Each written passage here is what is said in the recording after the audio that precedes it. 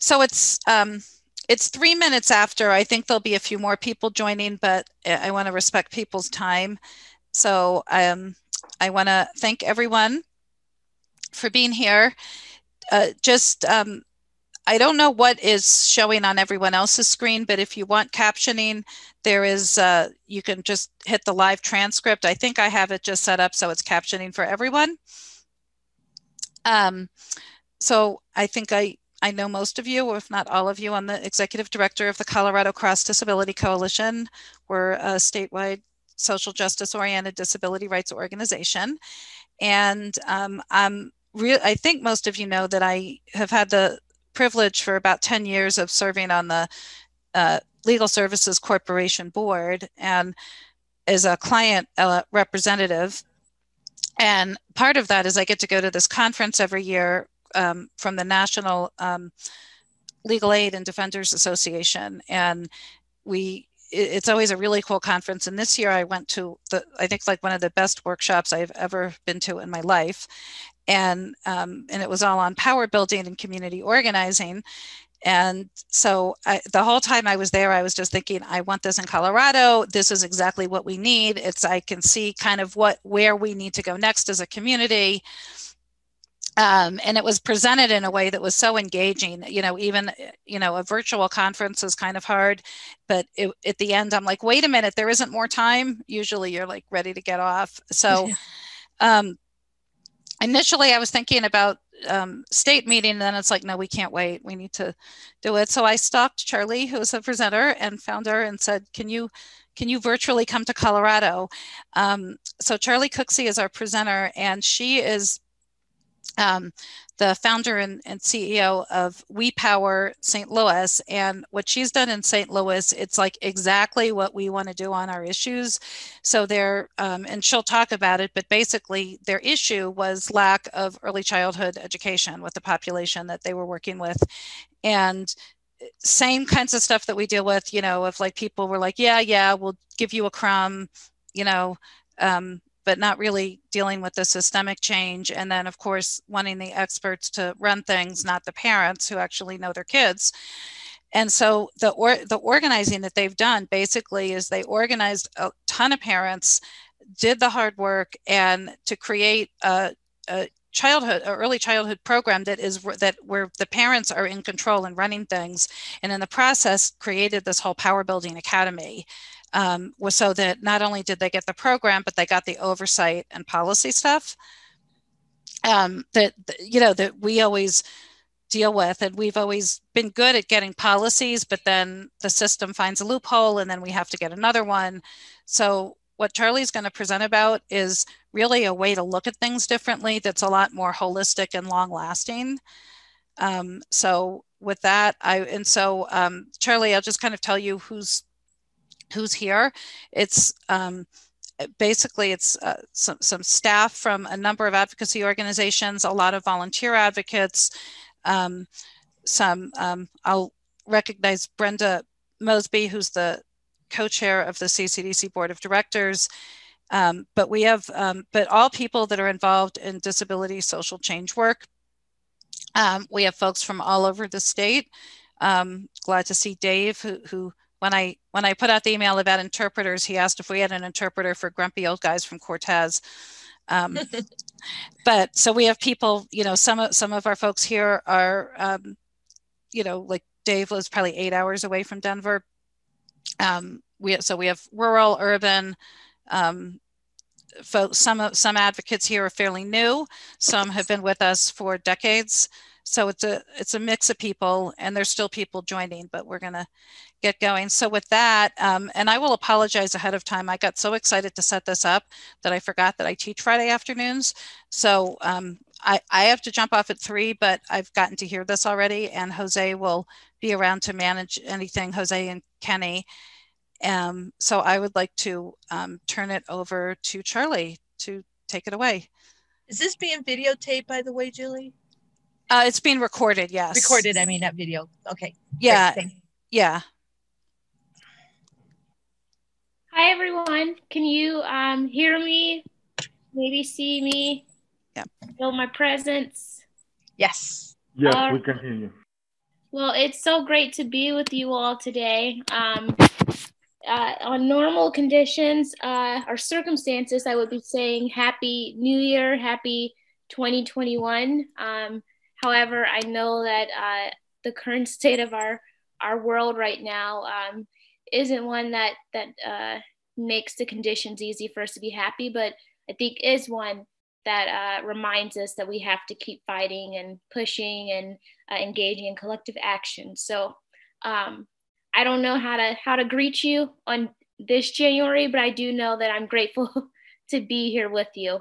Um, and uh, I'm so excited to, to have this conversation with you and, and grateful that Julie invited me. Um, so, uh, as Julie titled it, this session is called Power Building for the 21st Century. And I will be sharing a few things, but it really will be a lot about uh, you all engaging in discussion together as folks on the ground in Colorado um, and who are most proximate to the, the disability injustice that is happening in your communities. Um, so we'll just start off with uh, who is in the room. So we'll do a Zoom, I mean, a poll everywhere exercise where you can uh, share one word to describe how you're feeling. I'll ask a few other questions. So we'll transition into that just so we can uh, break the ice a little. Um, so uh, if you've heard a poll everywhere, there's a few ways you can engage with it.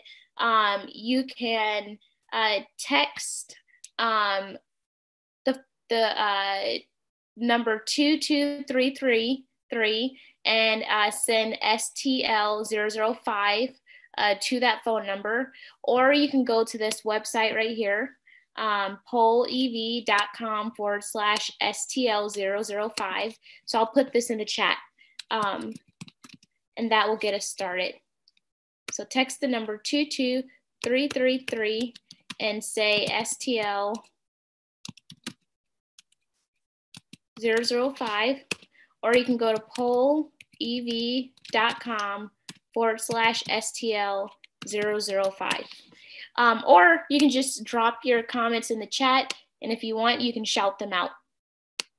Um, all right, so Julie's testing it out for us.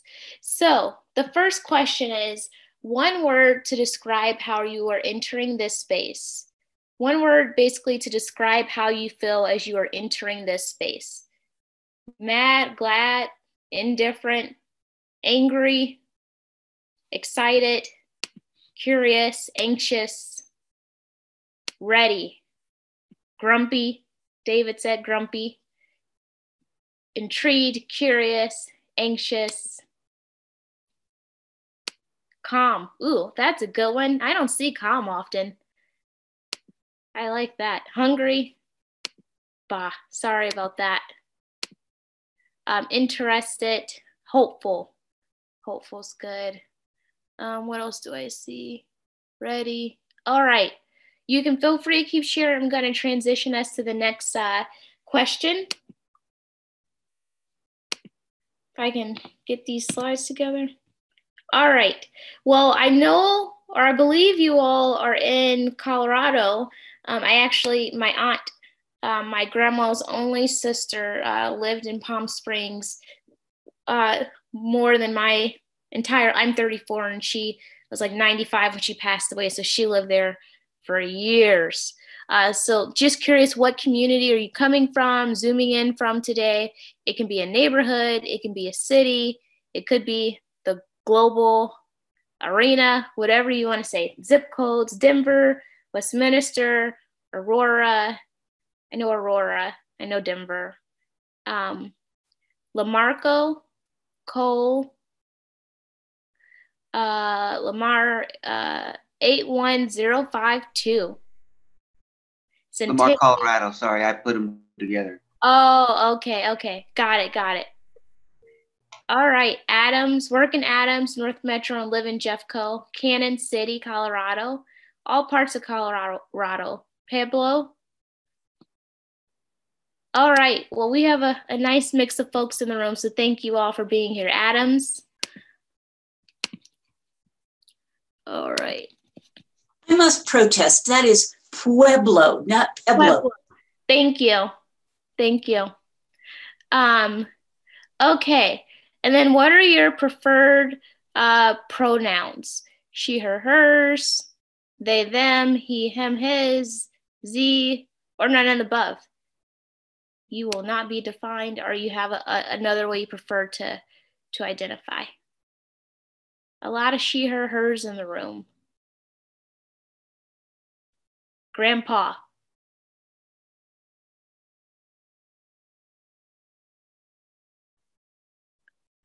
All right.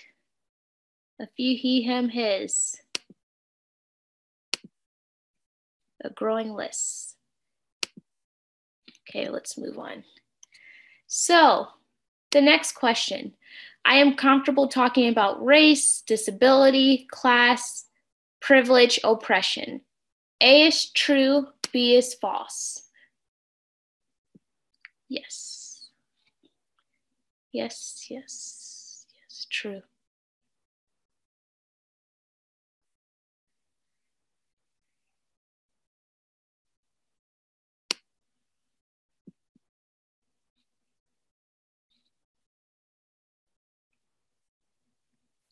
All right, so we're good. We're ready to get into it.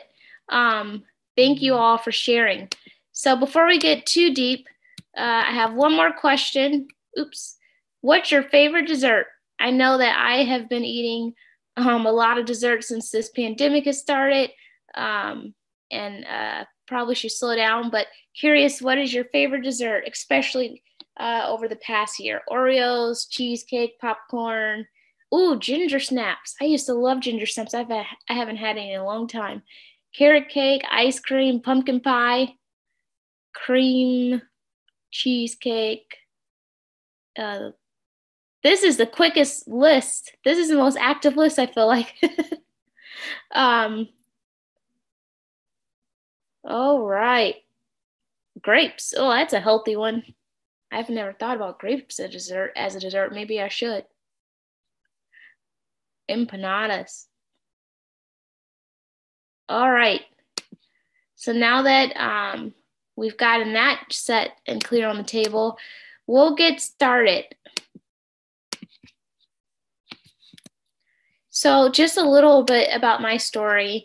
Um, this was a few years ago uh, after I, I, chopped most of my hair off.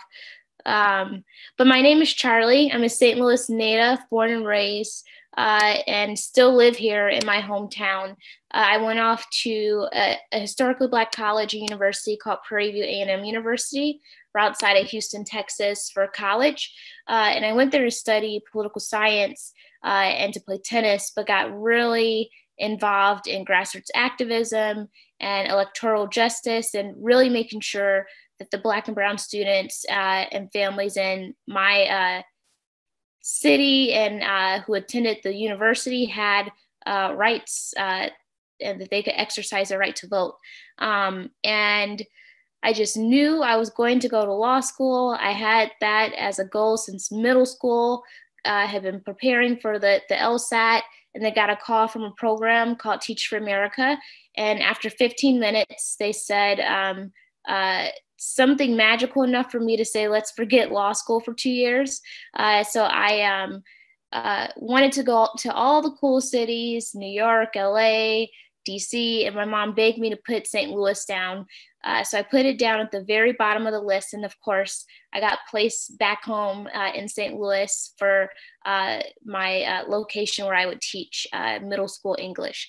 Came back to St. Louis and I thought I could change the world one kid at a time. And I was rudely awakened to the fact that uh, the world is not that simple um, and that um, there are so many conditions in place that hinder uh, school systems from thriving and that are barriers from our, our very brilliant students realizing their fullest potential. And so with that, I started an education nonprofit um, and said, all right, this is my next big key to solve education uh, and uh, support its middle school students with getting into the best college prep high schools, uh, completing high school and going on to college. Um, and then Mike Brown was murdered. Uh, he was murdered the same summer uh, that my uh, first group of students uh, had just graduated from uh, high school. And so I was feeling great and proud about our students and the work that we accomplished. And then, boom, slapped in the face like the rest of uh, not just the country, but the world. And it caused me to question what does it mean to get a quality education um, if a, a, young Black male can't even live past uh, his high school graduation? And so that made me really think about um, the policies that are in place that um, that are hindering uh, uh, Black kids in particular in St. Louis, uh, brown kids across the country um, from thriving. And so I said, all right, I'm going to focus on the policies. We got to shift these policies. And then I realized that it's not just about policy, it's about power. Um, we have to really think about who holds power and how that power is used to shift policies because often the policies and laws that are set are controlled by folks in power. Um, so that's my journey, and it led me to starting We Power. Uh, so we're uh, a little over two and a half years old, and uh, we've been on the ground working as hard as we can here in St. Louis, uh, trying to create a world where all Black and Brown and all Black and Latinx uh, families and communities thrive. So that's my story, and I'm so happy to be here with you all today. Uh, I wanted to ground us in a few agreements that I got from a partner here in St. Louis so that we can have a productive and, uh, and uh, courageous time together. Um, so, uh, the first one is I voice. Um, speak your truth. So basically, when we are sharing our thoughts, when we're sharing our stories, it'll be important that we use I statements versus like we or they or them. Um, so, really speaking from our own experiences and not trying to speak for others. The other agreement is listen to understand. So that means uh, receiving what others say, whether we agree with it or not, listening not to respond or rebuttal, but listening to process and to uh, be open to new ideas and concepts, or to be pushed and made uncomfortable. Um, the next agreement is take responsibility. Um, so knowing that our words, our actions, um, what we put into this space impacts all of us. And so uh, whether our uh, words and uh, uh, behaviors have positive or negative or harmful uh, impacts, taking responsibility for whatever that is. The next courageous agreement is uh, it's acronym wait and wait. So wait is wait, why am I talking? Because that probably means you're talking too much. And wait is wait, why am I not talking? So that means you can lean in a little more, share your thinking. Uh, we want to hear your brilliance and your presence. Next is lean into discomfort. There might be moments where you don't feel comfortable, uh, but through that discomfort might lead to a breakthrough or a new insight. And the last one is the modified Vegas rules. So basically, you know, uh, the saying what happens in Vegas stays in Vegas. Uh, we're saying what happens, what's is said here stays here, but the, the lessons can leave. So if we can commit to those, you can either shout out yes, or you can drop in the chat yes or commit, um, and then we can go ahead and get started.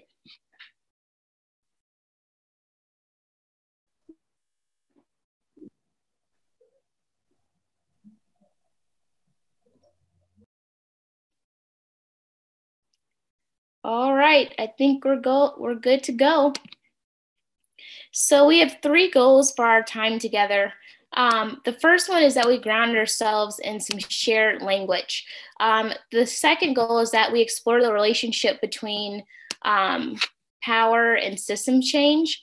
Um, and the third one is we plot, apply a racial equity lens, uh, a power lens, and a systems change lens to a real life design challenge that is happening in our community or in your communities in, in this case. All right, so uh, we did we did cut back an hour, so we're gonna see what we can get done here. Uh, we're gonna end at 4 p.m. Uh, no, 5 p.m. your time, 4 p.m. What time is it for you all? it's it's one. Is it 1:22 for you all p.m. All right, so we're going to end. I think at 4 p.m. your time, 5 p.m. my time. All right. But basically, what I'm trying to say is we are now uh, one less hour because I know some quite a few of you have another meeting to go to. So we'll see what we get accomplished today. Um, but we'll start with some shared language and then transition to a case study, and then the rest of the time will be all about you all. But before we do that, I want to ground us. Can we get a volunteer to read this quote out loud for us?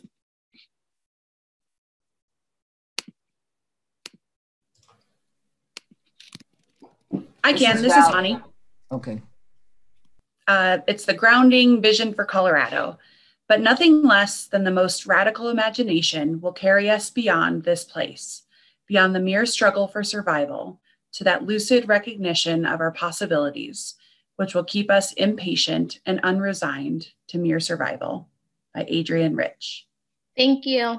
Um, so when when we think about where we are in our country at this point, um, it's easy to get um, uh, to get burdened and weighted down and to feel so heavy by by all of the things that we see that are harmful and traumatizing and dangerous.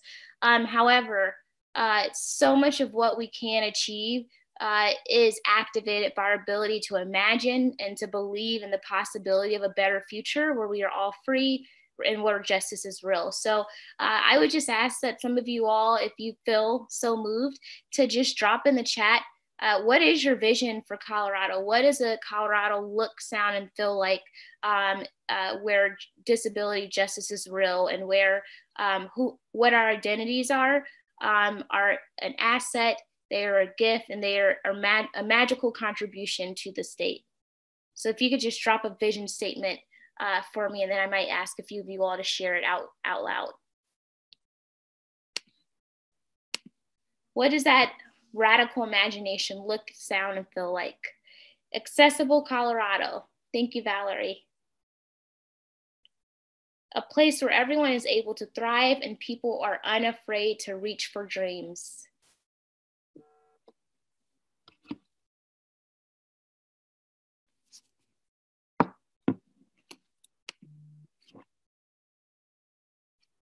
All right, I might start calling on some folks. Let's see here. People get what they want, when they want it, when they need it. Yes. Health equity in rural Colorado. Thank you. Each person valued for their gifts and contribution.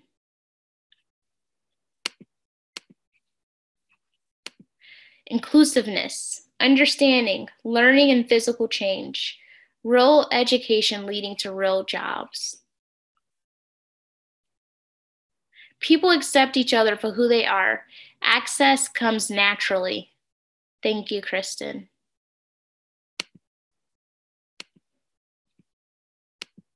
All right. Um, where people with disabilities are gainfully employed. Uh, Kenneth, do you mind sharing, whole group? What what does it look like, sound like, and feel like uh, where people with disabilities are gainfully employed? Where um, we discover not only um, a key to success for employing disability, but to discover and untap the potential and the, the resource that disabled people are, and that um, Colorado recognizes it first of all, first in that they are able to establish a gainful employment system for those people with disabilities, starting Thank- with education. Thank you, Kenneth. I appreciate that, and I really appreciate it. Uh, you said uh, mentioned about uh, Colorado realizing the resource uh, that exists uh, in folks from the disability community. Um, okay, a few more here. Justice that is for all, not just the wealthy, eradicate disparities, real communities that welcome everyone, and real choices not determined by someone else. That sounds like power. Thank you, Linda. All right, here. So let's start with some shared language. Um, racial equity. Can we get a volunteer to read out the definition of racial equity? You can just shout it out. when you can no longer predict a person's life outcomes based on their race. Thank you. So that's exactly it. Racial equity. We can't predict life outcomes based on their race. Um, so for when we talk about the word equity, um, it's not a feeling. Um, often we we like to feel good about something, uh, which is important, but it's about outcomes. We should be able to measure is there a change in a person's life circumstances? So, for example, um, we will know that health equity is true when we see uh, life outcomes uh, being more comparable. So that means that regardless of race or regardless of ability or disability, we are able to see that like one person isn't doesn't get to live to be 80 because they are a white male, able-bodied male, and another person doesn't live to be 65 because they are a black disabled woman. Um, so equity is about shifting outcomes and making sure that uh, there are no barriers to us realizing our fullest potential and living our best possible lives. All right, power. Can someone read uh, the definition of power for us? To be able, the ability to act. Now, Thank- you've oh, crossed out one of these things. Yeah, thank you. I did cross it out because that's the power that we are not pursuing, at least not a we power. Uh, we often see or think about the dominant kind of power, where it's power over, zero sum, one way. Um, I think we can think of some leaders that represent that dominant power. Uh, instead, we are pursuing relational power, power with it's steadily and increasing. Uh, it's not that I have to take your power um, in order for me to have power, but I can activate the power inside of myself um, and use that. Um, so when we talk about power, we see there being three sources people uh, who are organized. Uh, so I, I imagine uh, in a world where we are powerful, all 30 of you all, once there's no longer a pandemic, are uh, at the Capitol together uh, fighting for a shared policy um, change that advances disability justice. Um, when we talk about uh, sources of power, that's position and status. So that means, uh, for example, we have more folks who are elected leaders, who are appointed leaders, who are in positions of influence, who are advancing uh, disability justice rights. Um, and they're working with those organized people who are right there at the Capitol.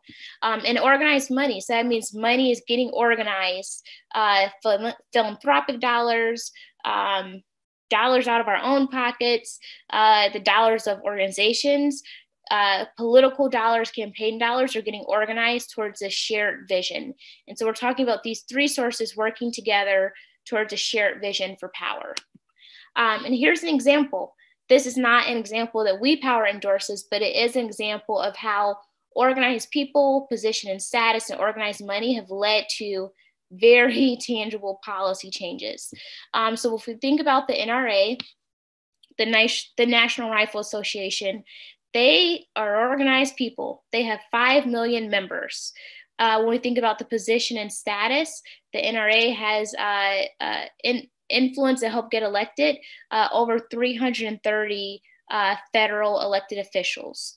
Um, and when we think about organized money, they, uh, through their membership model, uh, have about 128 million per year that they are able to use towards their shared goal and vision of gun rights. Um, and again, I am not endorsing this. Um, demonstrate this with social change. All along the major street. Yes, yes. Thank you for that, Kristen. So we're going to do a little more shared language and then uh, I'll do a case study and then we're going to go into some breakouts. So systems change. Uh, can we get someone to read that definition of systems for us? Assess policies, processes, relationships, entities, and power structures, as well as deeply held values and norms. Thank you. So that that is the system or systems. Uh, can someone read systems change? Fundamental change in policies, processes, relationships, and power structures, as well as deeply held values and norms. Shifting the conditions that are holding a problem in space. System, systems change takes time. Thank you. Thank you. Um, so I'm going to repeat that last statement. Honestly, I need to hear probably more than you all. Systems change takes time. Wow, it does. man, this week was rough for me at work. I I was like, can I find a trip to Jamaica? I know this is a pandemic. I had to call some folks for some inspiration because it's it's been rough with this systems change work. Um, but all right, let me get back focused. so, yes, these are the definitions. A system is all the things. It's not just the policy or the law, it's not just the relationship, it's not just that person in a position of influence, it's all of that and how it works together. Um, and then the systems change is the process of changing those things. So, changing the way that policies work, changing the relationships, and changing the power dynamics, and all of those things. Yes, it took 30 years to rescind Columbus Day. Systems change actually, that's a thank you for lifting that up. Systems change actually takes about a generation. Um, and uh, uh, as a millennial, I think that that gets hard for me at times, realizing that I need to stay stay focused and stay the course and realize that I can't put put something in a microwave and see it uh, come out uh, in a few minutes. so systems change takes about a generation, 25 to 30 years. Um, and this is a framework that we look at a lot at WePower, and we got it from uh, a firm called FSG, and they have a really cool article that I think Julie shared with many of you called "The Water of Systems Change." And so, oftentimes we we only think about the surface piece, uh, and I think I'm one of those people who are we. We think about the policies and laws, we think about the practices, we think about the money. Where's the money coming from? Who's it going to or not going to? Uh, but there's also other pieces of system change the relationships and connections, uh, the power dynamics. And then the most transformative level is the mental model. So, what we believe, uh, what we say, impacts the relationships, impacts who has power, impacts the policies and laws and practices and resource flows. So these are the six conditions of systems change. And if we can start to understand these, um, in what ways are they, uh, these conditions holding a problem in place? In what way are these conditions uh, able to be used to shift a problem or shift a system? I think we can really get to a better world um, in so many ways. Uh, yes, we can. You will get a copy of these slides. Uh, Julie and Jose have them, and so I guess we could email them. But also on a break, I'll I'll make sure I drop the link in here. So at WePower, um, this is what we are focused on. We are focused on building power, these three sources of power, organized people, organized money, position, and status towards systems change, racially equitable systems change. So, new mental models, new beliefs. Um, so, for example, beliefs that uh, folks who are uh, disabled have our resources, our assets, our magical, our brilliant, deserve uh, access to jobs, deserve access to policies that do uh, more good and uh, don't do harm. Um, so we're focused on building power towards new new things, a new role where there's new policies and practices, new ways that money is used. Um, for sake of time, I won't talk too much about WePower. I'm going to skip these slides. Okay. All right. So we already talked about this this visual, but uh, you see the iceberg here. This is a great metaphor. Uh, we often just see what's on the surface, when there's so much more below the water. And so, what this model is talking about is that the surface is often that policy, practice, and resource, but we have to see what's underneath the water and what's below in order to really push things forward and to get transformational change um, that can impact our lives for good. So I'll talk a little, well, actually, for sake of uh, me not doing all the talking, maybe we can get someone to read uh, policies. Can someone shout out? We can just popcorn around. So if you can uh, read policies and then someone else can shout out and read uh, practices. So what are policies? Policies are rules, regulations, and priorities that guide institutional and individual actions. Thank you. Practices are organizational and practitioner activities that reflect their values and priorities. Thank you. Resource flows is how many people, knowledge, and information are allocated and distributed. Thank you. Relationships and connections. Quality of connections and communication occurring between system and players. Mm-hmm. Thank you. Power dynamics, which individuals and organizations hold decision making power, authority, and influence. Yes, power. Last one mental models. Thank you, Dory. You're welcome. Deeply held beliefs and assumptions that influence one's actions. Thank you. So these are all the conditions of systems change. So we're going to start to unpack these.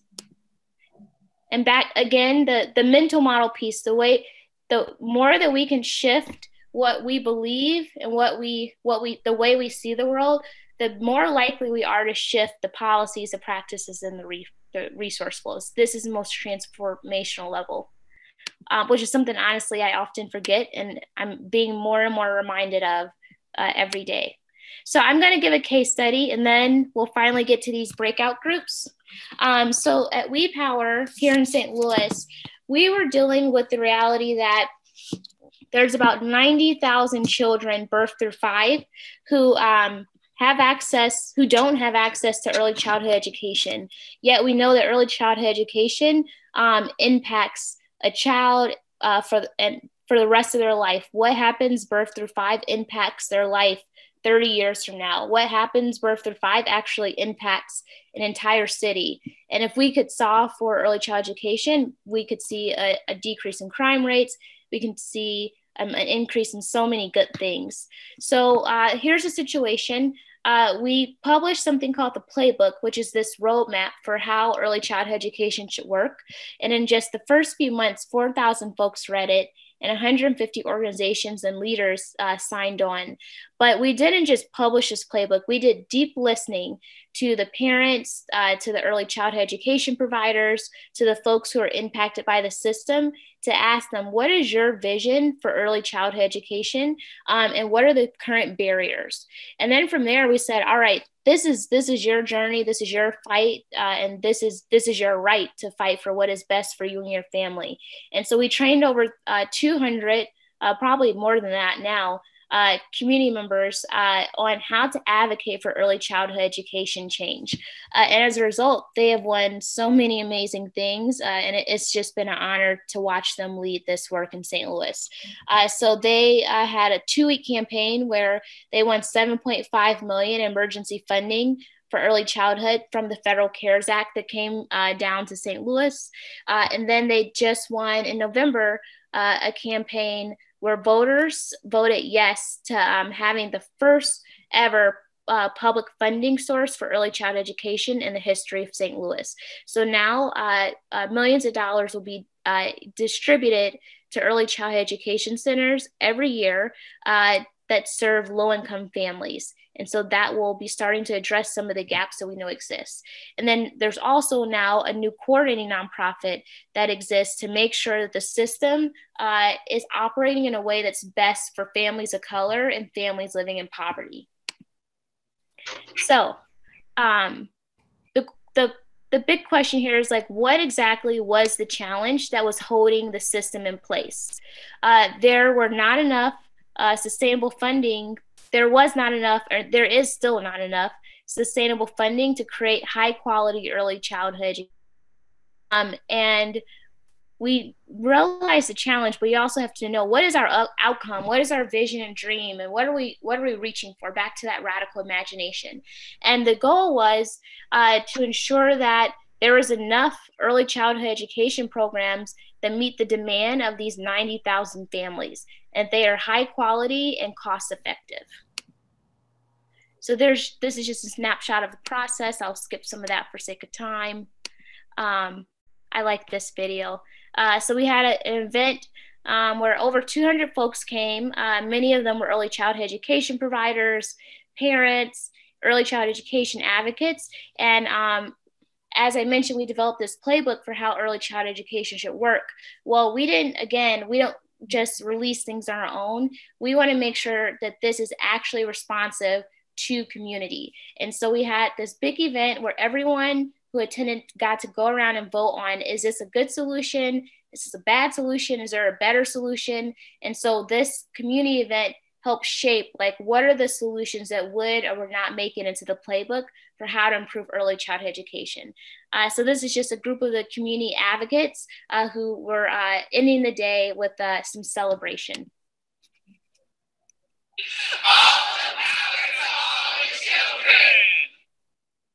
All right, so that's just them saying all the power to all the children.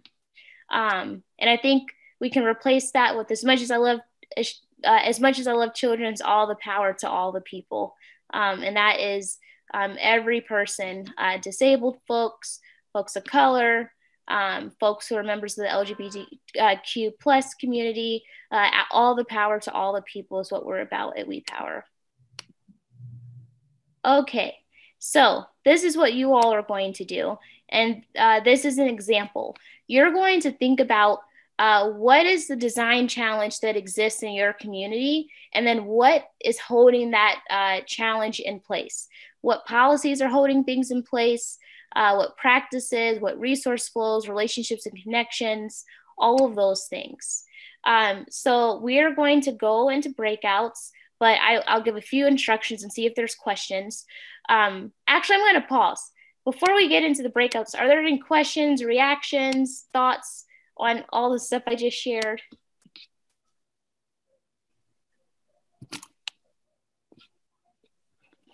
Things that stand out for you all. I have a question. Sure. We represent social justice for, uh, for 500,000 people with with significant disabilities in Colorado. How do you suggest that we break it down to one or two manageable um, challenges to work on? Because we can't yeah. work on everything that half million people need. Yeah. Well, one, that's a, um, a beautiful question. And that's actually going to be our next activity where you will all focus on choosing uh, one challenge in your group. Um, so we're going to, we'll do that in just a few minutes. Um, and I, I do have a, a, a, some thoughts that I can share too. Uh, first off, 500,000, you all are, you all are, there's so much potential when we talk about organized people. If you all can figure out a way to get clear on that one challenge and those 500,000 uh, folks demand uh, that the, the state do what you all need and want, you all could really do some amazing things. So uh, uh, I wish I, I could crack that code here in St. Louis. Um, thank you, Julie, for clarifying. Uh, still, still, still amazing. Um, so here's my thought my thought is listen to the uh, disability community. Uh, you can develop a survey, uh, even pay some community members to uh, be leading the, the survey and listening and say, all right, if there's, um, uh, I don't know how many cities or states are represented by the coalition, but find find someone in all of the cities that you're focused on and say, uh, all right, I need you to go out and have conversations with 500 people, um, pay them a, a, stipend, give them a thousand dollar stipend, and, have them survey disabled folks. Uh, what are the top five barriers for you in this uh, in your home community? Um, and which one do we need to focus on, and which one feels most most urgent? And I think taking all that data, across the state uh, from, oh, go ahead taking all that data from across the state and then saying, all right, what are the top five things we heard? And then saying, all right, based on the state uh, legislature, uh, which which of these five makes sense to focus on for this year? What do we need to focus on for year two? What do we need to focus on for year three? So that's what we did. We did a survey. We had lots of meetings, and then from there, our community voted together on like these are the top five barriers we want to solve for and then this is what we want to solve for in 2021 2022 and 2023 and 2024 and so on so i think it's really listening and then using what you hear to to be the decision for you all. I don't know if that answers your question or not, Don. Okay. Um, yes, a listening tour. Exactly. So what we're going to do is break into two groups. Um, the first group is going, well, both groups um, are going to discuss what is, uh, that should be uh, in the disability justice space, but what is the challenge uh, that you are current, currently experiencing or observing uh, in the disability justice space? Um, and is it negatively impacting the quality of life for folks of color as well? So we're thinking about the intersection between disability and race. Let me fix that. And the, this is Julie. I, I just wanted to add that the reason for that is that if you look at every, when we talked about equity, if you look at every single outcome, the data for people with disabilities of color is worse. So like if you look at, for example, school to prison pipeline, who was that? Who's being affected? It's kids of color with disabilities. If you look at health equity, it's so that when you layer the two, you that's where the data is just really stark. Yep, exactly. Thank you for lifting that up, Julie. Um, we uh, have that much. Do we have that much data? Because what I'm thinking is, when I just begin to think about it, I think, okay, I've I've done what I need to do with my life to be independent for me, but what would have happened if I were a person of color? And I keep thinking, I wouldn't be this far. But then again, here I am leading disability rights in Pueblo. We have no people of color on our committee. And I haven't the slightest idea how to go about advertising that because this is one thing that really is culturally different from group to group. Um, people who are Hispanic, for example, they keep their people with the family. Mm-hmm. Um, they don't strive for independence like I do. You know, I want to be in my own place. That's not the way they think. It's it's so, interdependence, which is what we strive for, which is what would be a better way. But let let her finish the instructions. Oh, I'm sorry. No, you're fine. I think that that is the discussion that I hope that you all have, Kristen, and I, I appreciate you modeling that for the rest of us. Um, so you're going to take, let's see here. You're going to take. I tried to write a new schedule here. Um, 15 minutes and your goal in those 15 minutes is tr- is to try and and this is an exercise so this is not uh, to say you should go and do this uh, and make this a thing based on this 15 minute discussion in real life. But I would like for you and your group to decide what is that disability injustice uh, challenge that uh, you are currently experiencing and observing, and then ask, is this challenge negatively impacting the quality of life for folks of color? So you will get a volunteer who can maybe take the notes in here and I'll drop the deck. And if you want, you can also just write the notes on a piece of paper and share them when we come back whole group. So then you'll, once you know the challenge statement, then you'll say, all right, what's the outcome? What is our vision for how this would be more equitable and just?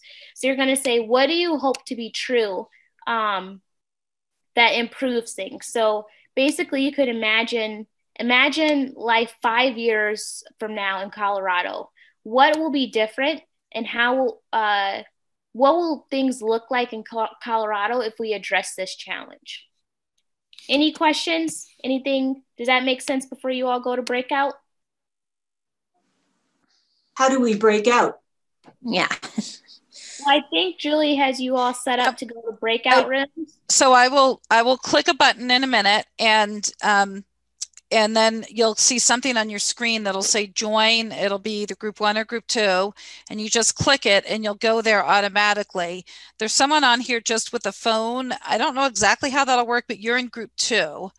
Um, and so, um, so that that's how it'll work. And then um, I'll give you a reminder when it's almost when you have like five minutes left and then when you have one minute left and then i'll just press something and you can either leave the room or come back or or if you don't you'll get put back um, automatically the breakout room will just end. You'll get a 60 second warning. Thank you, Julie. Um, so, all right, you will uh, break out group one. You will take notes on slide 41, or you don't have to use a slide. It's up to you. Um, and then breakout group two, you will take notes on slide 45. So breakout group one will take notes on slide 41 and breakout group two will take out uh, take notes on slide 45. So the first question is, what is the design challenge you want to focus on either in your commute, home community or the state?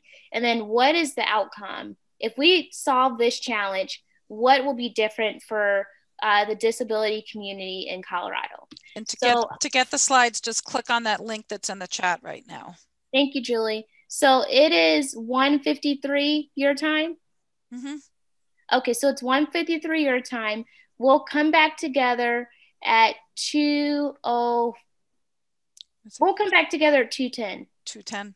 Okay. Yeah, so you can have a little more time. Uh, so we will see you all at 210. Hi. I think we're all back, so I'll share my screen here. So how was it in your breakouts? How did it feel to go through that exercise? Anyone have any reflections? Well, I think, um, like many groups, I think that are um, trying to change systems and change lives while doing it, it's always easier to throw out the problems than the solutions. Yeah. It's very eye opening to realize um, how much work we have to do and how much I don't know, maybe we're caught off guard a little bit. I hate to think that, but I mean, it's maybe partially true. Yeah. Thank you. What about group one? Well, this, yeah, what about group one? How did it feel to go through this exercise?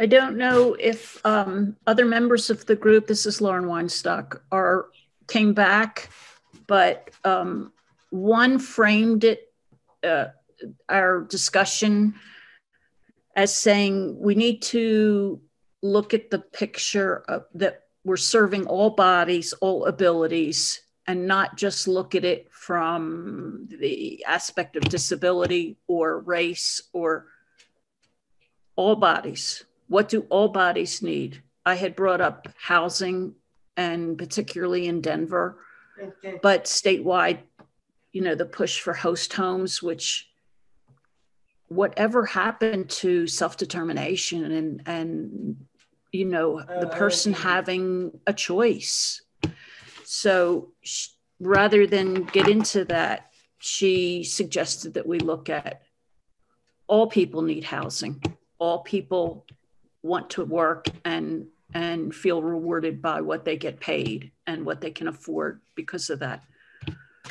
So I thought that was really helpful. I think group one really echoed what you were saying too, um, Charlie, about access to services and that maybe being the body politic, um, true choice being the population or our population, the disabled community, and then finances as far as who's going to pay the bill or who's going to put finances or money or power behind what we need to have happen. Thank you for sharing.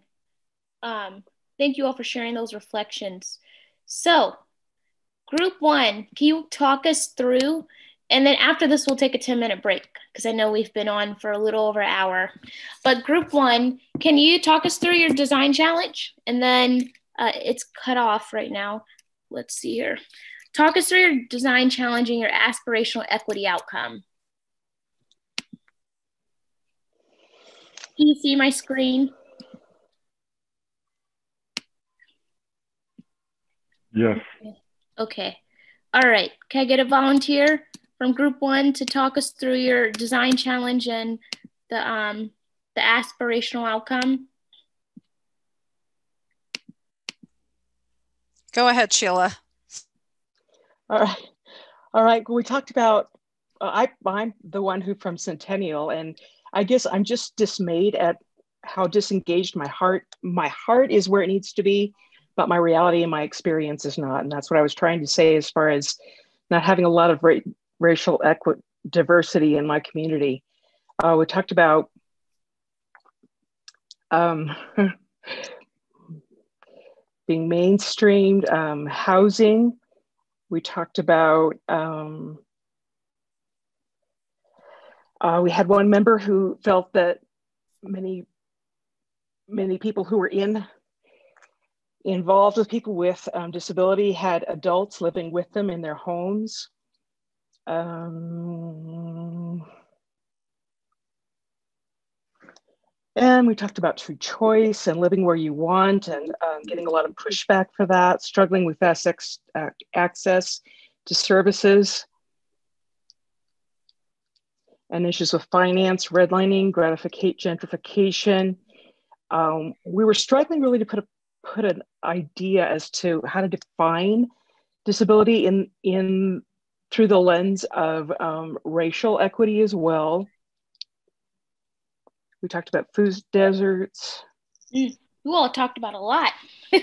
yeah, we talked. We did talk a lot about a lot, and it's really hard to encapsulate it, really, to put it into a, a Yeah. sentence or two. Thank you. And then can you share what what's the aspiration? What do you all want to be true? And what do you want to replace this cha- these challenges with?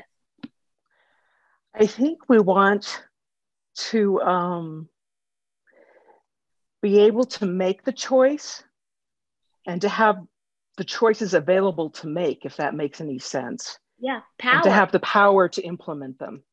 Yeah, this is a, a beautiful reflection. Uh, I said, look to the bottom of the inverted pyramid. Look how we see. Look at how we see disability. So we're really shifting our mental models and our mindsets to to see that all bodies are unique and essential and have needs and must be met. That's that's wonderful. Um, well, thank you all. When we come back from break, I'm going to push you all to choose one thing from this long paragraph of challenges, but these are all really good challenges. So thank you for sharing. Um, okay, breakout two.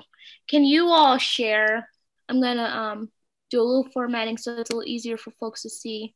But um, can you all share what your design challenge was and um, your outcome? I'm gonna let's see here. I'm trying to make it so we can all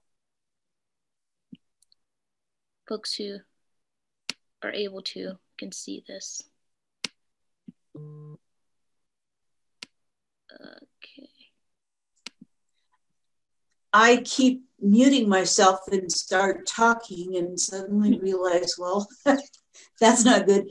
It was basically what happens to people in the justice system. And I've had some experience um, in that judges see disabilities in terms of does this person have guardianship or not? Is he competent to function in court? They don't look at all the ADA definitions that we're used to Mm. um, which automatically puts us at a, at a disadvantage. And then add race to that. And then it says case managers are not trained working with families also, and what services they might be useful, you know. So, um, sorry about my phone. It just, anyway. And also, the bottom one is really important. People in mental health crisis, they'll send them to jail instead of to a mental health uh, environment. And if you're a person of color, well, you won't get out of jail at all. So it's like somehow we have to move toward looking at people as people who may need support um, and need to be able to voice that. Um, and it has to apply to everybody when we go into the court. I don't know how many people who are not disabled don't have the slightest idea what to do with themselves in court. So there has to be some kind of support system to help people deal with this system. And the system has to recognize that it's not accessible to anybody. Everybody gets put in a box.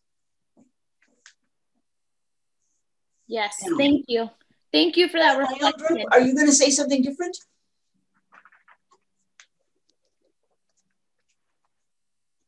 Who are you talking to, Kristen? Everybody in my own group. Oh, oh okay. Because I just took over and and uh, jabbered. We appreciate it. No, that was great. so, um, so let's thank you, Kristen. Uh, and then the outcome. What are we? What are we hoping for? What will be different five years from now if we address some of these challenges? Everybody who walks into a courtroom will be treated the same way. With respect, dignity, and support, respect, I suppose. Dignity and support. Thank you. Um, thank you, thank you, thank you. Um, well, these are amazing reflections. We're going to uh, go to the next part of our exercise after a 10 minute break. So right now it's 2.20 your time. Is that right? Yes. Okay. So we will come back at 2.30 um, and we'll dive into the next part of our exercise. So see you all in 10 minutes. Is 10 minutes enough time? Yeah. Okay. All right. Yeah, see you all in 10 minutes. Hey, I see some of us Great. back. Oh, a lot of us. There you are. Okay. Let me find my slide deck. There it is. I have resumed the recording. Thank you. All right. Well, it's good to see your beautiful faces again. Even if I can't see your face, it's good to be with you again after that break. Um, let's see. I need to make sure you all can see the right screen. Can you all see my screen? Okay. All right here. So we we started off with getting clear on what is our design challenge and our outcome. What are we trying to uh, reach for or aspire for? Um, so what we're going to do is break back into groups, but first we're going to prioritize. So in group one, there are several very important design challenges named. One was not a lot of people with disabilities or racial diversity, mainstream cultural shock in college without people with disabilities, housing waiver services limited to host uh, home. Um, people with disabilities should have the ability to live where they want, um, struggling to access services, um, food deserts, um, uh, lack of employment. So um, those are some of the things Group One named. It, group, oh, ahead. It sounded to me like some of those were like comments on the environment in some parts of the state and others were actually issues. Yes, I think you you're right, Julie. Um, and then on this front, we had different challenge states, uh, challenge statements or design statements, design challenge statements as well. So what I'm going to ask you all to do is uh, two things. So when you go back to your breakout, I'm going to ask you to choose one thing that you're going to focus on. So, for example, is it a lack of employment opportunities for disabled people with disabilities? Um, is it a lack of uh, access to quality and uh, affordable housing uh, for folks uh, with disabilities? What is that one challenge that you all want to design for um, today in your group? So you're going to take about five to 10 minutes to do that. And then you'll go to your next slide and you're going to diagnose the, the system and the problem. Uh, so actually, we're going to skip this slide because we don't have enough time. You're going. I to- have a question. I'm sorry to interrupt you. Um, so I don't know if this is this is a good time to ask, but I was the one taking the notes for that slide, and mm-hmm. I think the way the reason it looks confused is we were mostly talking about housing. Oh. But all of those things are connected to housing. Okay. Okay. Do you know what I'm saying? So yeah. I don't know if we were already breaking it down the issue or I don't know what we're going to do next, but all of those things are connected to people not having the ability to choose housing, people having access to housing, all those things. That makes sense. Okay. Okay. Thank you for clarifying, Jennifer. Sure. That's a lot. So I think um, what I would ask is like uh, maybe even put in bold what the design challenge is, which I'm seeing. I'm wondering if it's, um, I saw it, but then I lost it. Okay, here, right here. So if this is a ja- design challenge, just uh, in your group, make sure that you all are aligned on that. And then you're going to go to slide 43. And the question is, what, what is holding this problem in place?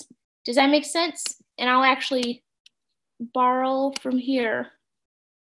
So to what extent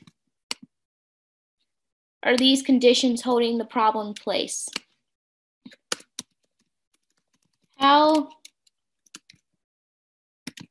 are these conditions holding the problem in place? So this part, oh wait, that's the wrong slide too. This part is called diagnosis. So we're going to do some diagnosis first. And then once we have diagnosed the design challenge, then we'll start to talk about what actions can we take to address what we understand about the challenge. Does that make sense? Are there any questions about this?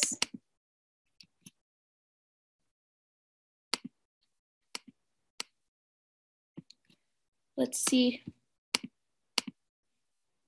I get it.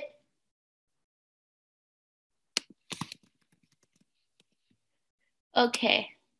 All right, so I'm just gonna repeat one more time. So you're gonna go to your breakout and make sure everyone's super clear on the design challenge. And then you're gonna say, how are these uh, current conditions holding the problem in place? So for example, um, this example talks about school discipline. So mental models are like our, what people believe and assume. So the reason school discipline is so bad and there's so much racial disparity is because the mental model people have is that administrators and teachers assume that certain students can't learn. Um, and then the power dynamic is that students have no voice in district decision making and so they their power isn't able to be used to influence what happens around school disciplinary issues.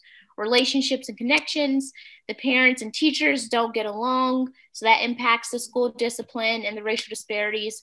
Resource flows the grassroots advocacy organizations don't have the money to support parents and students with advocating for better discipline prop, uh, solutions.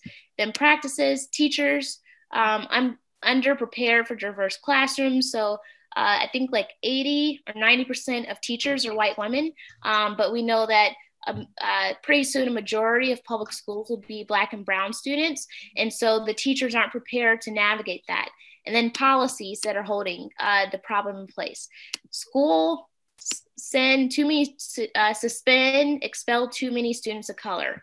So you're going to go through the same process for your design challenge around housing, uh, injustice for people with disabilities. And then group two will do something similar. Uh, prioritize. All right. Make sense? Welcome back, Sonia. So it is three um, okay. So we'll, uh, question, do we want to go to the same two breakouts or do we want to do even smaller breakouts? I want to go to the same one. Me too. I agree. Same I one. Okay. Jose, is that cool if we, we go to the same breakouts we were in? I'll send folks to that same breakout. Sure. Okay. All right, here. I'm gonna send you all. Well, oh wait, I didn't give you a timestamp. So it's 3:30. Oh, 2:38 your time. Uh, so you will have until um 4:10 p.m. 310. 3:10. Thank you. it's two. It's 2:38. You all will have until 3:10. So you'll have 30 minutes to diagnose your design challenge. All right, here. Let's see. Um, Julie, am I still a host? Uh, Jose is the host. You should still be a co-host. Yeah, you're the co-host, Charlie. You, Okay. You have uh, group control also. Okay. Uh, I don't know if I forgot how to do breakout rooms or what, but I'm Oh, trying. Jos- Jose's doing it. Okay. Um, Jose can do it whenever you whenever you say. Julie, could you send me the the, the groups? I just didn't write down. Oh no, no, the, it should be there. If you click, I, I don't have it anymore. If you click breakout groups, it, there should just be two groups already. I see it. Yeah, I didn't undo them, so. Okay, see you all at 310. Hey everyone. I think this is everyone. Um, I hope you all had a good time uh, in your last breakout, really trying to diagnose. Um, so we'll do a quick share out, um, and then we'll we'll shift to taking action. Um, well, we'll take a quick break and then shift to taking action. So I'm going to share my screen in just a moment, but um, we'll start with group one. We'd just love to hear what what was the design challenge and sort of what was your diagnosis of it. Um, and then we'll shift to group two and do the same, and then we'll take uh, one last 10 minute break.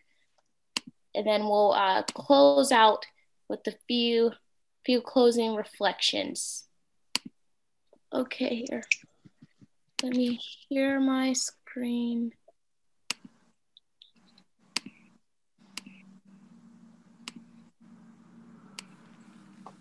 All right. So group one, can you all recap quickly what your design challenge was, and then can we have a volunteer talk through the diagnosis? I think if we put it in a sentence, we decided that we wanted accessible, affordable housing action in the form of development as well as deploying what we have. Got it. Thank you. And did you all get a chance to talk through like the diagnosis? We had a rich conversation. we really did. Okay. We talked a lot about um, what is our notion of housing? This is Mhm. mine and not yours. And where does that begin and where does that end? And Mhm. who has the right to this if this is mine and not yours? Uh, we talked That's about as being monolithic. Mm-hmm.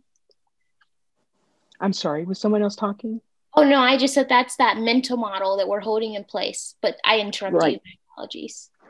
Right. No, no. I, we, we talked about disability being monolithic and um, not recognizing that maybe what someone needs is just a separate space or a community responsibility. Um, how that we need to talk about this in a way that is not threatening. Uh, we went on to power dynamics and we talked about sla- state legislature. We talked a lot about finance. And um, Where are the notes? Am I looking in the wrong place? I don't know. I had them. Here they are. Here they are. Sorry. You see this slide? Can you all see it? we can. Okay. Okay, cool. Jennifer, can Sorry you speak more directly wrong. to the notes?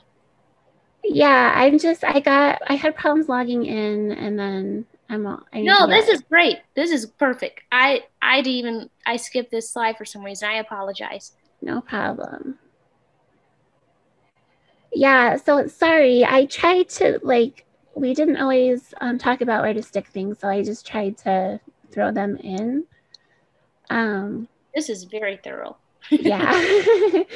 yeah, so they were really amazing ideas. So if I put them in the wrong place, I apologize. So basically, we talked about, I'll start with mental models because I think that's kind of where it was rooted in. Um, so we talked about the idea that that housing is for everyone. Um, the problem is rooted in that builders and policymakers assume that everybody has um, the same abilities, and that's the problem with accessible housing. Um, that um, we can get tripped up on universal design if we try to make the same housing the same for everyone and that accessibility needs to be based on an individual's needs for themselves in their own home um, and that the change around mental models needs to be global and not just for people with disabilities it needs to be that everybody has the right to housing that works for them um, regardless if they have ability or not and then it needs to be affordable for everybody um, we need to change our understanding of what it is to have housing in our communities, that it's a community responsibility, not just an individual property right, um, and that it starts on our own block. Um, and a lot of these ideas were in a lot of different categories, so they kind of are interactive. Um, so the power dynamics include um, developers, the state legislature, um, it includes it's kind of rooted in financial power. Mm. Um, one of the power dynamics is just having the ability to choose where you live and being able to access that.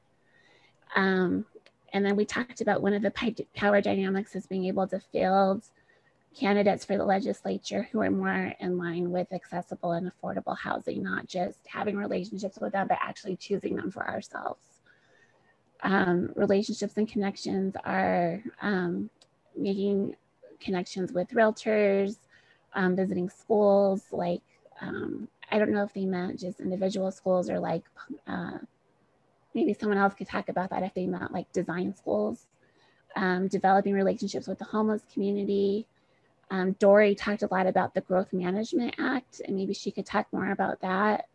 Um, but it basically um, is like a 20 or is a, a, legal issue that affects plans for 20 years um, man, uh, maintaining relationships with legislature, legislators and city officials um, and the religious community. And uh, that was rooted in understanding community responsibility um, and making it not just based on um, political issues, but understanding human value um, and working with nonprofits that may not be a traditional source of um, of resources, but understanding that everything's interconnected and that we can build relationships in a lot of different places.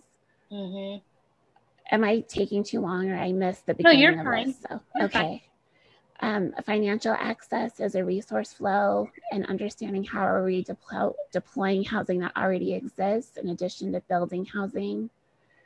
Um, practices include um, withholding we can we can practice change by withholding buying doing demonstrations involving community voices and determining rules regulations and tenants rights talking about community versus socialism when going into deep social responsibility with help from the religious community and centered on common values and moral action um, some of the problems with policies are that they're currently bare minimum, and we need to change rules around habitability, tenants' rights um, to modify their homes.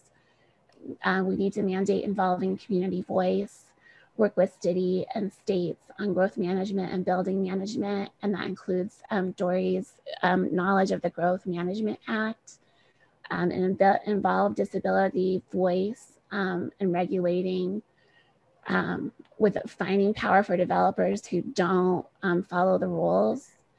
And she said that those state plans last 20 years, so it's really important that we participate in them and that we place affordability and accessibility front and center. Wow, you um, all have the master plan. Sorry, was someone about to say something? Story. I just wanted to to um, um, clarify the Growth Management Act it's kind of a sub piece of at the federal level of um, infrastructure and Washington state labeled it the Growth Management Act, but Colorado has it split into three pieces, kind of the same thing. and It's at that apacolorado.org. And that act informs city plans called um, comprehensive plans. And those city plans that that Growth Management Act influences um, those comprehensive plans last for 20 years. So that's why you get um, cities without sidewalks because in the 70s we built everything for cars. And so does that make sense? Okay, I just wanted to clarify. Yeah, that's helpful and very, I'm learning so much by being in, this session. So thank you um, so much. Um, all right, any any thoughts or reactions from group two that you want to share with group one? Um, and also, first, can we just celebrate group one for your thorough work? I'm a clapper. You can snap, cheer, yell. Great work, or drop something encouraging in the chat. Uh, you all really wrestle with some big concepts. Uh, but any thoughts for group one from group two?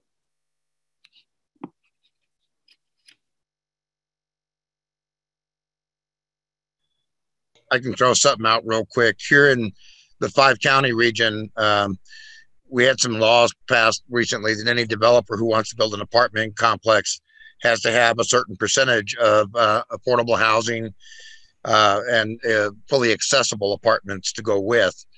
Uh, they either complied or they paid a big fine.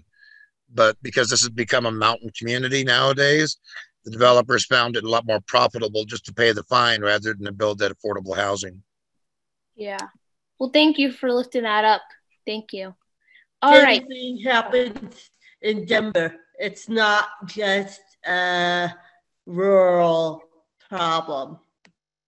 Yeah, I've heard of that happening. Um, all right. Thank you for sharing that, Don and David. Um, okay, so we're going to transition to group two. I'd love to hear from you all. Uh, what was your diagnosis of of your well one first what was your challenge or design challenge and second what was your diagnosis of the challenge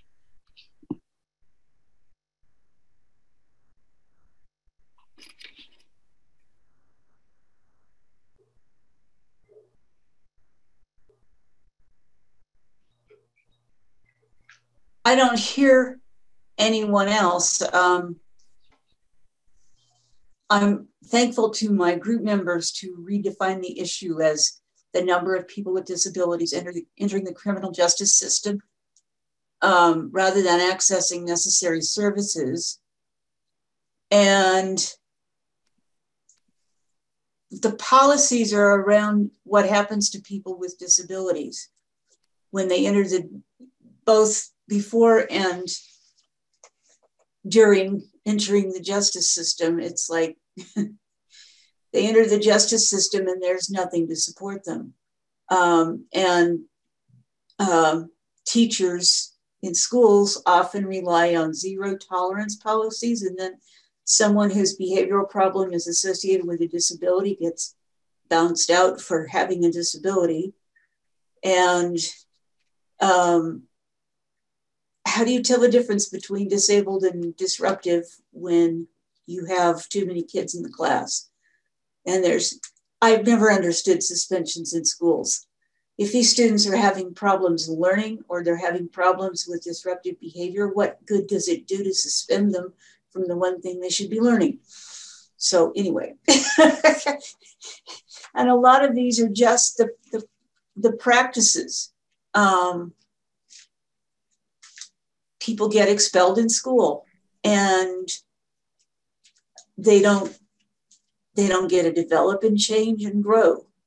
Um, and they're always separated from other people because of their disability. And i thought that had been taken care of but i guess you don't have to have a separate classroom to be isolated. Um, and I think class sizes play a role in it. I think every educator for the last 50 years has said smaller class sizes are better. And we're still teaching 30, 35, 40 students in a class. Um, teachers don't get the funding they need to pay for skilled support. There's not enough support for special educators that's an extra skill. Um, and so is substituting and being a parapro. That's not recognized. In fact, when I even thought about being a parapro, part time. Certainly isn't part time education. Um, there's an implicit bias uh, against disability and a lack of understanding of what happens in their lives.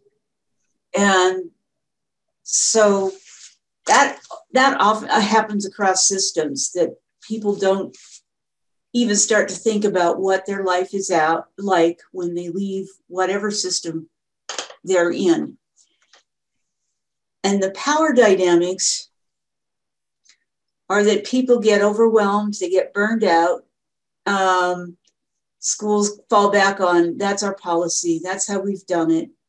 They don't want to put, um, they don't want to change the way they're doing things, and they they don't don't really acknowledge that anyone is unique.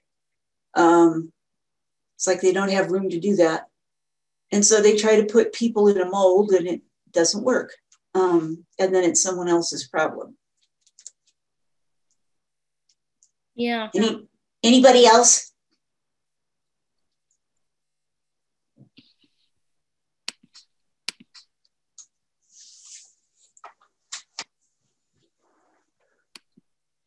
All right. Well, let's give some snaps, claps, cheers for, for group two for their very thorough diagnosis of, of the of the challenge.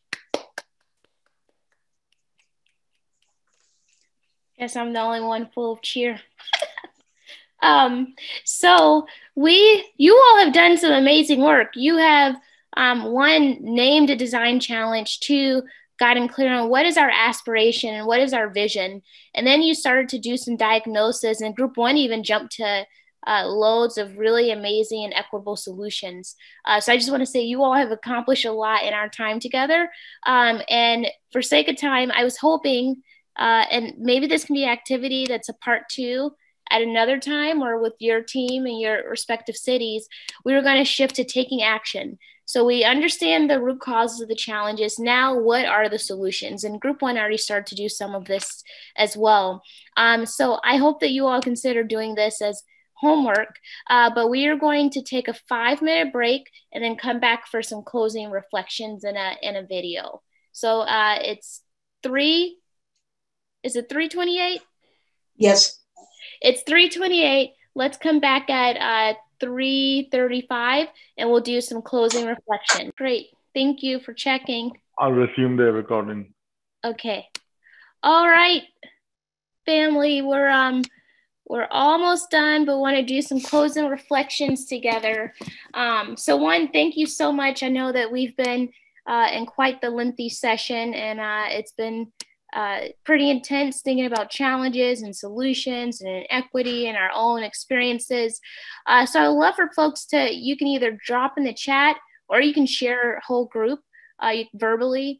Um, but the first reflection question is what did you learn about yourself and what did you learn about the disability justice space? So throughout this exercise, what did you learn about yourself and what did you learn about the disability justice space?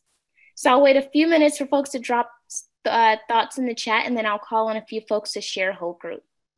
What did you learn about yourself and what did you learn about the disability justice space through this exercise? All right, uh, I did some reflection on myself, but I'll start reading out some of the things. Um, so let's see here. Uh, I someone said uh, I learned we have amazing, knowledgeable people and we can create our own solutions. Absolutely. Absolutely. I have so much more to learn. The disability justice space will always be a fight for those rights. And I learned that I love being the guy who fights for that. Thank you. I am capable of making change for people who are disabled. Yes. That we will need to be strategic and join our voices together to be successful. Absolutely. I said, I learned how much my privilege allows me to not have to consider the injustice of uh, people with disabilities face daily. Um, uh, someone learned also learned about them. Someone else learned about themselves a better appreciation for the long game of systems change. Disability space, more intersections and differences. Yes, I graduated from high school before there were any rights for us. I learned that we have a long way to go, and there are still people going through what I went through. A good reminder that there is always so much that we individually do not know, and collective work is the best way forward. The Down syndrome community. For me, it was treating everyone equally. About the disability space, people with disabilities are criminalized. Oh, I wrote that for simply being human and unique versus supported and valued. It's important for me to listen. I might learn something that is not part of my experience. The tagline, so to speak, is more alike than different. We're all humans. Would you go back and define disability justice space? Oh, that's a great question. Um, uh, if I put criminal justice space somewhere, that was an accident. Um, I facilitated a similar workshop with Julie where I used that language, so I apologize for that. Um, but I was uh, really uh, leaning on the, the definition that I have seen uh, this coalition used, which is uh, cross disability and uh, considering all the varied and different types of di- disabilities. Uh, so I was using the word broadly when I say disability space. Um, I learned that I have more power and community involvement practices and potential partners within the disability space. Um, think more globally and realize that change takes time. Yes. Love the six conditions of systems change, great reminders to think more globally. I learned that people need to continue becoming educated surrounding disability so that we can make a change for the better. Beautiful, beautiful, beautiful. Does anyone want to share any, any other reflections out loud um, with the whole group?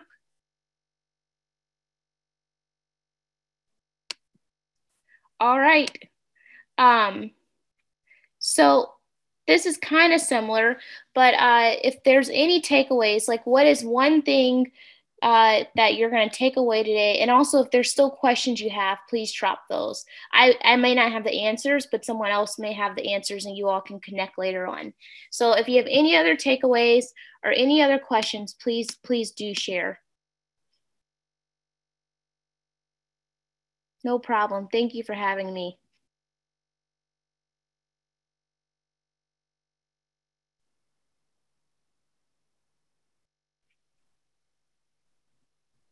Thank you.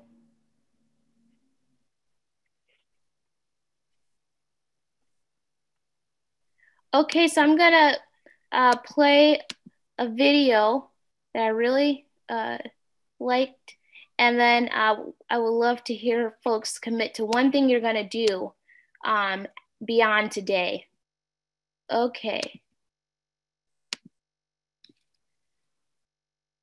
So, disability justice is a term that was coined by Patty Berne and the Disability Justice Collective, which was this amazing crew of disabled, badass, mostly queer and trans people of color. Disability justice is really looking at creating a world where everybody, every mind, uh, regardless of how it's shaped or moves or functions in the world, um, has a place and understands that disabled folks have a lot, a lot, a lot to offer um, to our communities.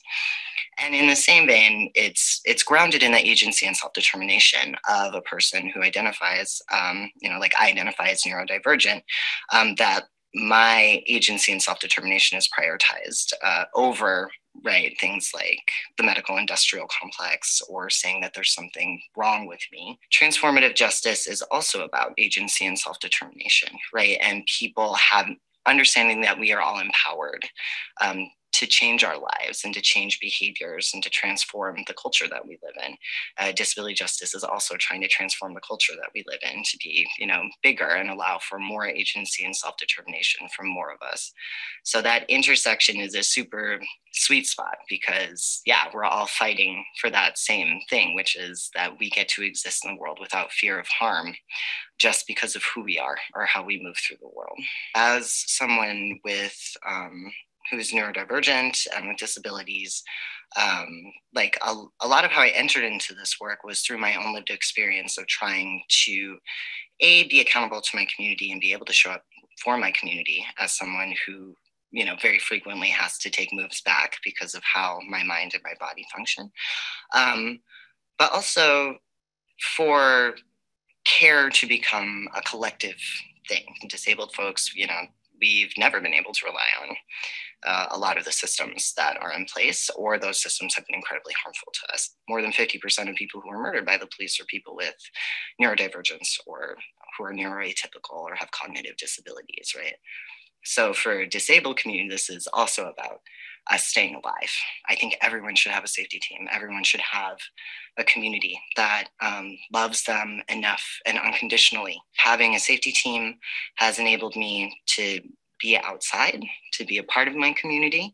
Um, and it also is a preventative tool. Uh, my friends know how to support me and take care of me so that I don't end up outside while I'm dissociated or episodic, which means I have less interactions with police officers, which means I have a less lesser chance of ending up back inside or really harmed by the state or the system.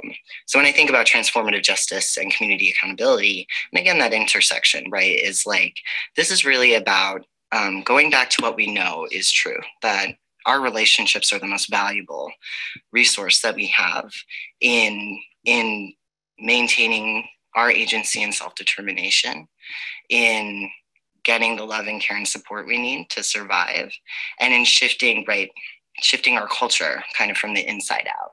From a disability perspective so many of us who are disabled like live in a lot of isolation because of ableism. So and I mean that can happen for people who aren't disabled too. I think that's true for a lot of survivors and a lot of people that they're like, what community? So I guess I also want to give a shout out because I think, you know, community is a word and community accountability, right? And I think often there there is still this focus we have on like, oh my God, this great network of community is going to be there and it's so wonderful. And a lot of us actually have a much more mixed experience, or we're like, actually, we're loners, we're hermits, we're there's a lot of stuff that we don't actually have support around, or we're actually kind of isolated. And I guess I kind of want to give a shout out to like people who might be watching this video who are living alone in their apartments or their lives, who are still building lives that have safety, peace, justice, and healing, and to say that that's real too. Okay, well, um, thank you all for watching that video with me. Um, we can shout this out if possible, um, but I would just love to hear from you all. What one thing do you pledge to do to shift the movement towards disability justice?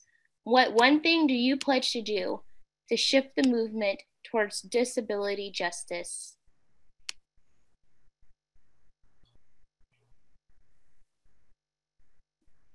You can just shout it out whenever you feel ready. I pledge to use that diagnosis tool in our work versus continuing to focus on the problem versus uh, breaking down where the problem has come from. Thank you since I'm the uh, community organizer, um, I commit to continuing to support um, people to be involved. Thank you. I uh, I would like to continue to do my best to create accessible technology accessible videos, accessible stuff, so that people with all types of disabilities can access information, not only at our organization's level, but at our community level. Thank you. Um, for me, Charlie, I uh, I live in. I'm the one that lives in Cañon City. There's also another person on here through from Cañon City. We have a website uh, here and we started.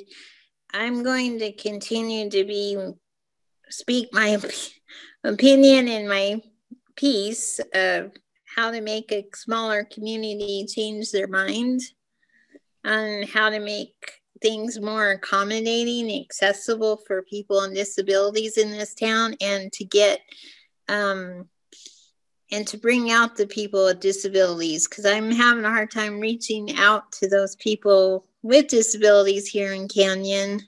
I know they're here. I just haven't been able to reach out to them through our website. I'm working on that. Thank you. Thank mm-hmm. you. Anyone else want to shout out their pledge? What one thing they pledged to do? And I see uh, Kristen Aria- Arielia. I don't know if I said your name correctly. Dory, David, and Lauren shared some pledges in the chat. Um, so did Kristen just share one. Uh, anyone else want to share? Shout out what their pledge is beyond today. I pledge to continue to educate myself by asking other people their perspectives and listening to their lived experiences. Thank you. Thank you. All right. Well, there's this closing quote um, that I just love, love, love. So disability Ooh, just sorry. So I'm gonna close this out with this, and then we will be free for the weekend. Um, thank you, Luis, um, for your your pledge. Um, all right. Whatever it is, coronavirus has made the mighty nil and brought the world to a halt like nothing else could. Our minds are still racing back and forth, longing for a return to normality, trying to stitch our future to our past and refusing to acknowledge the rupture. But the rupture exists, and in the midst of this terrible despair, it offers us a chance to rethink the doomsday machine we have built for ourselves. Nothing could be worse than a return to normality. Historically, pandemics have forced humans to break with the past and imagine their world anew. This one is no different. It is a portal, a gateway between one world and the next. We can choose to walk through it, dragging the carcasses of our prejudice and hatred, our avarice, our database and dead ideas, our dead rivers and smoky skies behind us. Or we can walk through lightly, with little luggage, ready to imagine another world and ready to fight for it. Um, so that's it, and that's my time. And uh, I'm I'm so excited for the work that you all will do in Colorado and uh, the world you will imagine and the work that you will do to fight for that world that you imagine. And thank you for allowing me to be with you today. Have a great weekend. Thank you, Charlie. Thank you. Thank you, everybody. Thank you, Charlie. Uh, Thank I hope I hope to see you mo- most of you the next time.